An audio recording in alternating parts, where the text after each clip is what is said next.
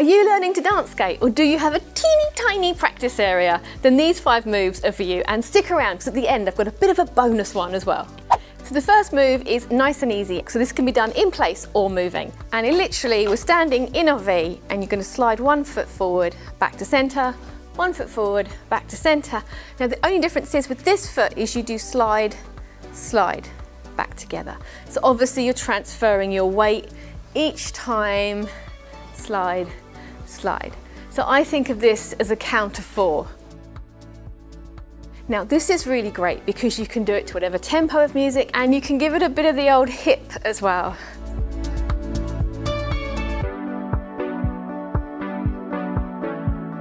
Nice bit of rhythm on this one.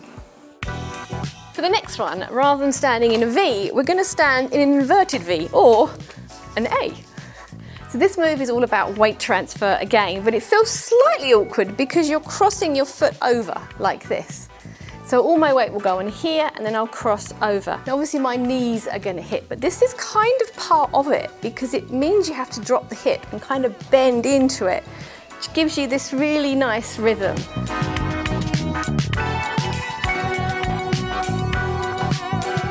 So just make sure you do it nice and slowly and get the weight transfer because it's quite easy to lose control of this back leg. So nice and slow, back to your A, bend into it. Really, really bend the one that's got the weight on it. And make sure you don't crash feet in the middle. There's a little bit of a coordination. So if you make the foot go slightly back, it will come in. When you're doing this, the wheels do start to have a bit of a mind of their own. So to stop this, what I do is like a little mini plow. So when I come in here, I actually lean on the inside of both of my feet and that stops the momentum and it means I've got much more control over the move.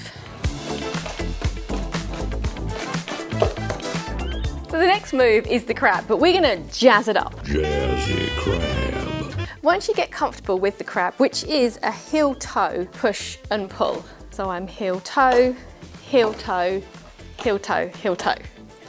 But this is a really good one to practice because it's kind of like the middle of the crazy legs. So we can use that for our advantage. If you do crab, and then when you get here, we're gonna slide this foot back. Then you're gonna bring it back to the V, and we're gonna do slide back. Slide in, crab. It's the bit of the crazy leg that makes it look crazy is you get this little flick here, flick, so we can get used to that using the crab. So if you start like this, back into the crab, one, two, three, flick, crab, one, two, three, flick, crab, one, two, three, flick.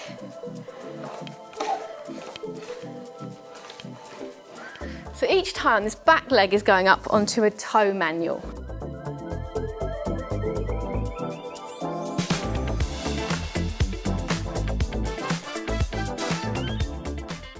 This is another really versatile move and there's a couple of variations for this one.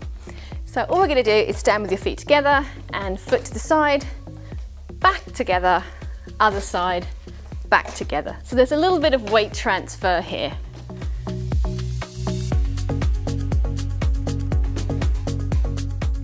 Now what's really nice with this one is once you start to get a bit of rhythm, you can change it to the beat. So what I do is there, and I'll lift that middle foot.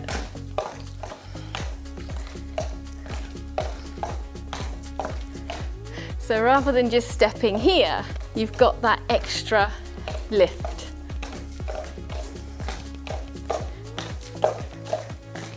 Once you're comfortable with that, you can add a little cross into it. So rather than just coming back to center, you can cross the foot and step.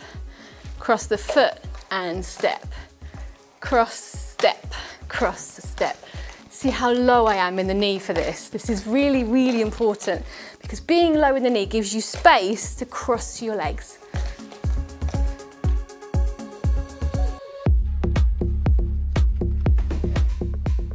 And again, you can get that little rhythm there. lift, lift, lift.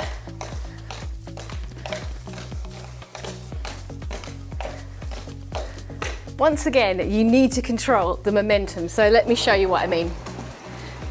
So what I'm doing is when I step here, I'm leaning on this inside really hard and that stops my momentum. So I get that lean and it kind of anchors the move in place. Inside, inside. It works so well. Otherwise, if you stay flat, you're kind of gonna just lose control of it.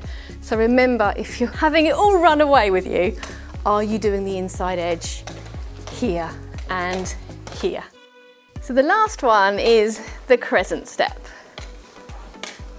This is a really nice, easy one, but again, it takes a little bit of coordination because there is a push and a pull in here. So what you're gonna do is one foot on the toe manual is go out diagonally, turn it inwards and bring it back in diagonally and place it in front of the other foot. And now you're gonna swap. So this one goes diagonal, diagonal, down. But the most important part of this is the feet kind of move at the same time because you've got to swap places. So as this foot's doing this, this one is actually traveling backwards to make space for the one in front. And then this one can come forward. So you've got this push and pull. So my feet are actually moving at the same time, like this almost like a dribble.